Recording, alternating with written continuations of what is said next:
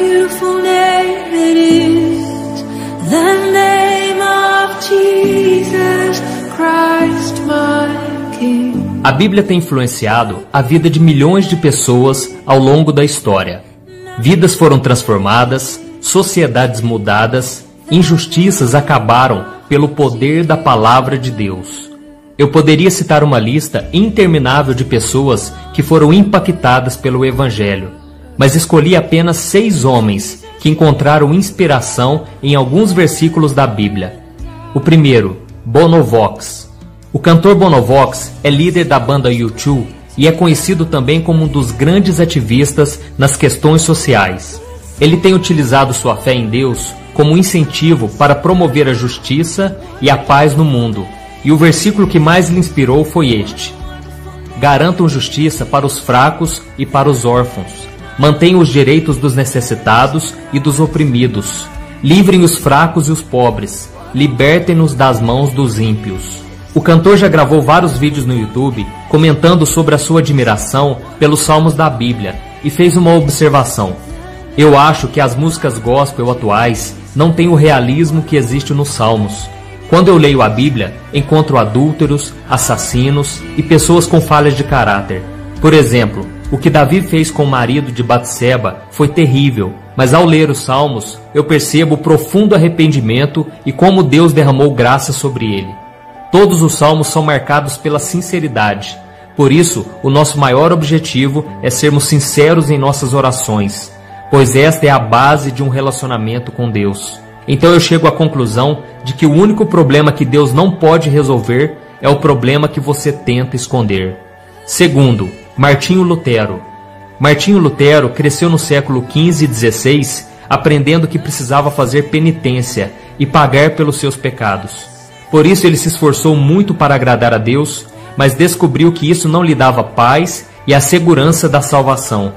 Então Lutero se tornou um monge e estudou muito a Bíblia até que um dia ele leu um versículo que mudou completamente a sua vida.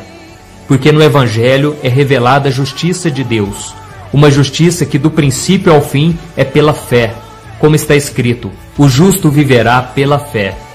Este versículo lhe abriu os olhos e Lutero descobriu que para ser salvo bastava ter fé. Não era preciso pagar pela salvação e pelo perdão dos seus pecados, porque Jesus já havia pago lá na cruz.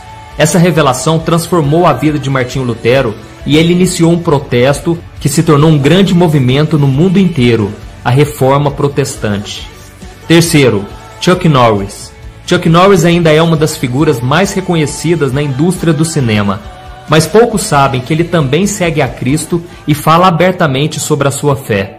Veja o que ele disse em uma entrevista. Eu entreguei a minha vida ao Senhor aos 12 anos e fui batizado. O tempo passou e eu me tornei um ator famoso, mas o trabalho no cinema ocupava muito meu tempo. Com isso, me afastei de Jesus e acabei perdendo até o meu casamento. Eu vivia com raiva de tudo e tinha um buraco enorme no meu coração. Nada me deixava feliz. Então me casei com uma mulher temente a Deus e ela lia a Bíblia todas as manhãs em casa. Depois de um tempo, ela me perguntou: Você quer que eu leia para você em voz alta? Eu aceitei e comecei a ouvir as passagens que ela lia em voz alta para mim. Até que uma manhã eu disse: Agora é minha vez de ler. E quando comecei a ler a Bíblia em voz alta, um versículo me tocou profundamente. Por isso é que foi dito: Desperta, ó tu que dormes, levanta-te dentre os mortos e Cristo resplandecerá sobre ti. Naquele momento, Deus falou ao meu coração: Chuck, é hora de voltar para casa. Você já passou tempo suficiente longe de mim. E hoje eu posso dizer com alegria que o meu coração está cheio da presença de Deus. Quarto, Santo Agostinho.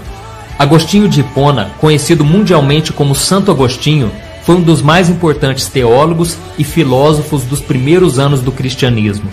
Mas antes de se converter, ele tinha uma vida muito desregrada e vivia em orgias com mulheres. Por isso ele tinha um conflito interno muito grande pois não conseguia ter a vida espiritual que desejava.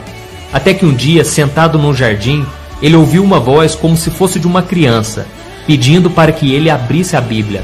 Ele entendeu que era a voz de Deus falando com ele, e quando ele abriu a Bíblia, caiu em um versículo que falou muito ao seu coração. Comportemo-nos com decência, como quem age à luz do dia, não em orgias e bebedeiras, não em imoralidade sexual e depravação, não em desavença e inveja.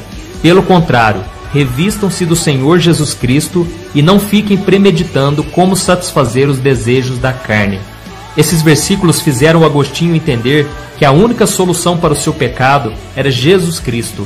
A vida louca que ele tinha nunca havia lhe trago satisfação, e se ele quisesse estar com Jesus, deveria renunciar o seu estilo de vida. Então Agostinho abandonou a vida de pecado e se tornou um dos grandes pensadores cristãos, que até hoje influencia a forma como interpretamos a Bíblia.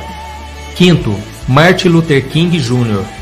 O Dr. Martin Luther King era um pastor norte-americano que ficou conhecido pela sua luta contra a discriminação e a segregação racial nos Estados Unidos no século passado.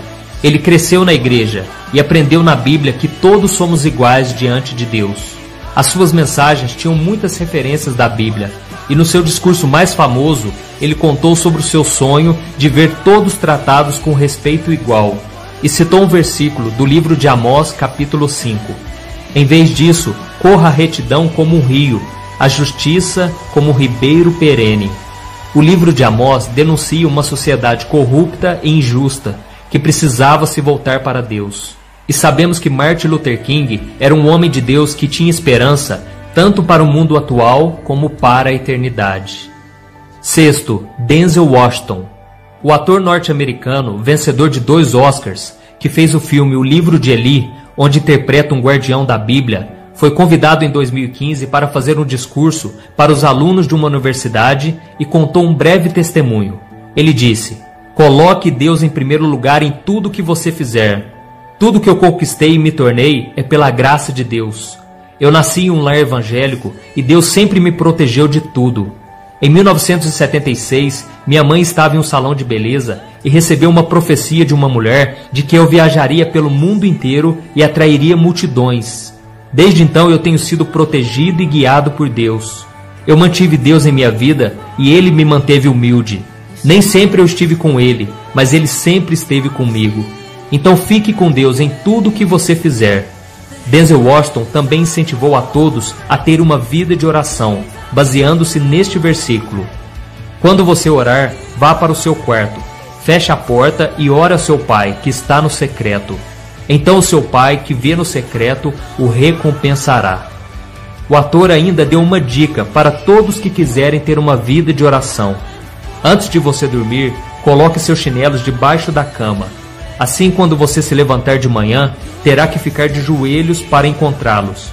E quando estiver lá, comece o seu dia com oração.